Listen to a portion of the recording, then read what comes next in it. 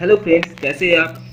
दोस्तों, आज हम ऐसे एक टॉपिक के बारे में डिस्कस करने वाले हैं, जिसको सुन के हमारा ज़्यादातर दर्शक या तो स्किप कर देगा या फिर एक डिसलाइक ज़रूर कर देंगे। लेकिन मेरा एक रिक्वेस्ट आप लोगों के पास है। प्लीज़ प्लीज़ प्लीज़ इस वीडियो को अंत तक देखिए आप। आशा करता हूँ आपको ज़रूर अच्छा लगेगा।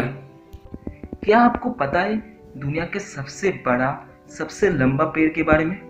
जी हाँ आज हम ऐसे एक कूल बट इम्पोर्टेंट टॉपिक पे बात करने वाले हैं। पेड़ हमारे नेचर का एक सबसे इम्पोर्टेंट फैक्टर है।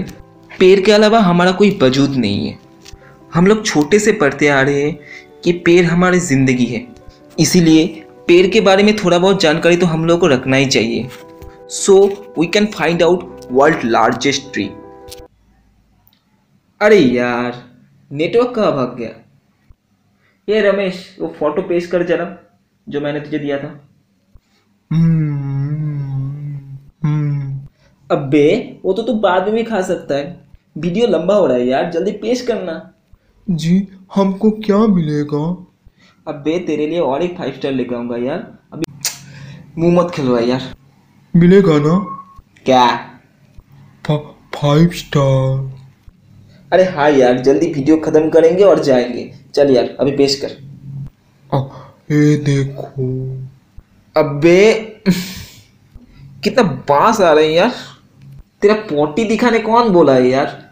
वो पेड़ का फ़ोटो दिखाना। सॉरी ये लो। अबे ये मूतने वाला पेड़ मत दिखा। मुझे पता है तू इधर जाके रोज मूतता है। वो खंबा सॉरी वो लंबा वाला पेड़ का फ़ोटो जो दिया था तुझे वो दिखा यार। अभी सही दे यार वीडियो बड़ा हो रहा है। दर्शक भाग जाएगा। फाइव स्टार मिलेगा ना? अबे चू ले ले ले ले ले। अभी दिखा यार।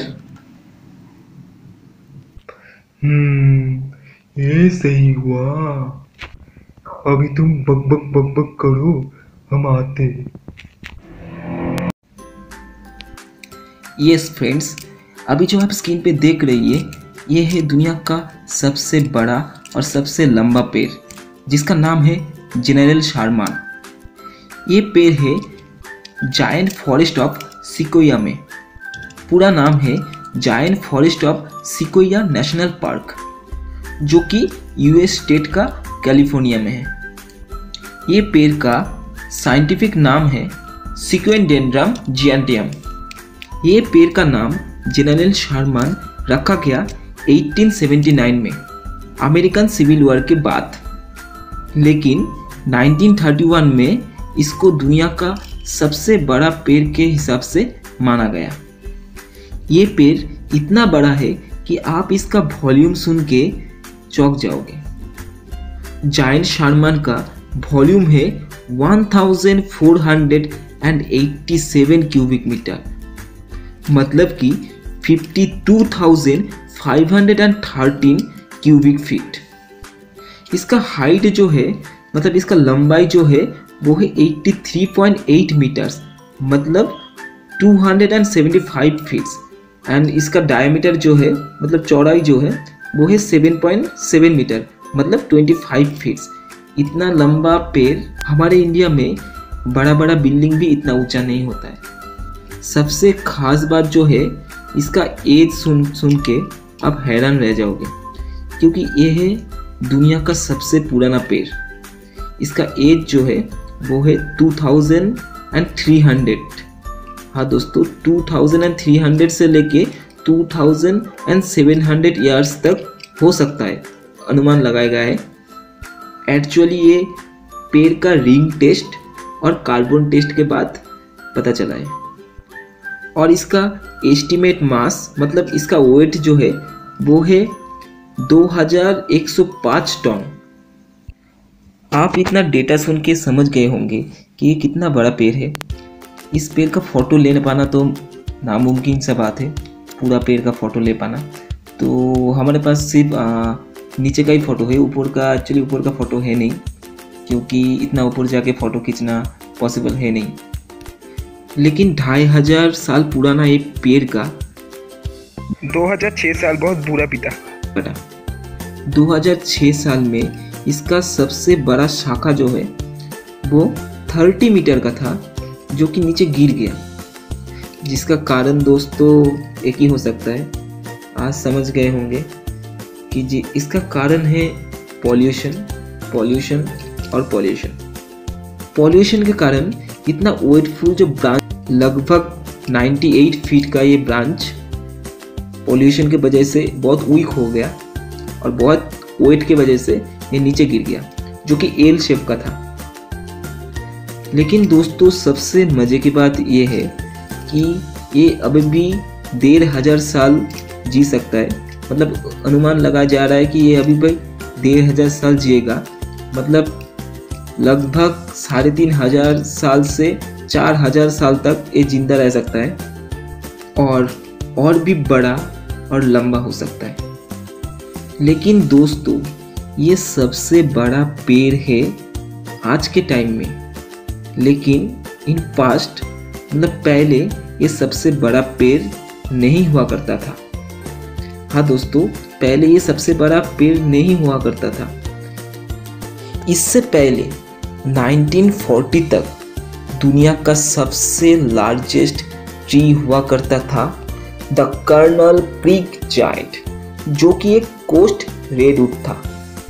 ये पेड़ भी कैलिफ़ोर्निया में ही था और इसका, और ये जो पेड़ है दोस्तों, ये जनरल शारमन से 15 से 25 परसेंट तक लॉन्गर था मतलब 15 से 25 परसेंट तक ज़्यादा बड़ा था।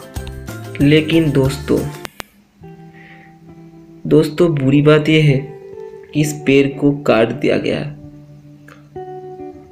हाँ इस पेड़ को अंत में काट दिया गया, जो कि दुनिया का सबसे लंबा पेड़ हुआ करता था। और आज के टाइम में शायद उससे भी बड़ा लंबा, उससे भी बड़ा। लेकिन चले, छोड़िए। दोस्त दोस्त दोस्त प्लीज़ एक मिनट एक मिनट आपसे थोड़ा बात करना था थोड़ा। प्लीज़ थोड़ा मन का बात है। प्लीज़ आज हम आप लोगों से कुछ नहीं मांगा, ना सब्सक्राइब मांगा, ना लाइक मांगा, कुछ नहीं। आपसे एक छोटा सा रिक्वेस्ट है प्लीज़ आप अगर कहीं भी, किधर भी मौका मिले, पेड़ लगाने के लिए तो ज़रूर लगाइए। अपने लिए नहीं, आप लोगों को खुद के लिए लगाइए पेड़ क्योंकि एक आदमी को ज़िंदा रहने के लिए साढ़े सात सौ से ज़्यादा पेड़ ज़िंदा रहना चाहिए मीडियम पेड़ एक हिसाब है, एक रिसर्च में पाया गया है। मैंने सर्च किया था गूगल में तो मैंने देखा ऐसा बात। एक आदमी को ज़िंदा रहने के लिए खाना पीना ऑक्सीजन हो, कुछ भी हो मीडियम साइज़ का साढ़े सात सौ पेड़ से ज़्यादा पेड़ चाहिए। तो दोस्तों, हम लोग तो शायद हम लोग ज़िंदगी में कभी एक सौ भी पेड़ नहीं लगाया, ठीक है? मैंने खुद भी नहीं लगाया, ठीक है? तो मेरा एक रिक्वेस्ट आपसे ये है कि आप पेड़ नहीं लगा सकते हो तो कोई बात नहीं, चलो। लेकिन पेड़ मत काटिए दोस्त। जिधर पेड़ है, उधर मत काटिए। अगर आप सोचते हैं कि एक पेड़ काटेंगे तो उसके जगह दूसरा लगाएँगे तो ऐसा भी नहीं होता है। क्योंकि आप एक पेड़ काटोगे तो वो पेड़ बड़ा है। एक दूसरा एक छोटा पेड़ लगाओगे तो हमारे वातावरण को उतना बहुत इफ़ेक्ट करेगा उसके लिए। आप समझ पा रहे हो शायद मैं क्या बोलना चाह रहा हूँ। तो दोस्तों, मैंने आज आपसे कुछ नहीं मांगा, ना सब्सक्राइब ना लाइक ठीक है, आज मैं ठीक से बात भी नहीं कर पा रहा हूँ आपसे, क्योंकि ये मेरे मन की बात है। तो नहीं आ रहा है अंदर से। ठीक है, ये कोई स्कीप राइटिंग नहीं है, कुछ नहीं है। अंदर से आ रहा है। अंदर से बोल रहा हूँ प्लीज़ अगर कहीं भी, कभी भी मौका मिले तो पेड़ ज़रूर लगाइए। आपसे एक छोटा सा विनती है। और आप अगर, आपको अगर लगता है कि हाँ सचमुच पेड़ लगाना चाहिए, ठीक है तो प्लीज़ इस वीडियो को शेयर कीजिए अपने दोस्त के साथ। उसके दोस्त को बोलिए शेयर करने के लिए। मैं मेरा पब्लिसिटी के लिए नहीं बोल रहा हूँ, दोस्त।